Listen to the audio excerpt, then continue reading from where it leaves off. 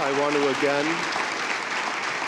I want to again thank Candace, Victor, Victor in particular, for being very patient with this conference across many years, as well as Amy and Ivy for sitting up here and discussing things that can be pretty delicate and pretty sensitive in front of an audience full of people who may or may not understand and may or may not be ready to understand. And for that patience and for that generosity, uh, I'm greatly appreciative.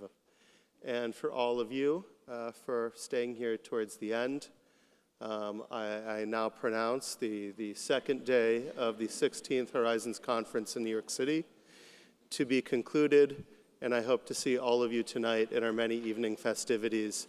Thank you all. Tomorrow is our last day of the conference, and I'm looking forward to seeing you all again. Thank you very much, and good night.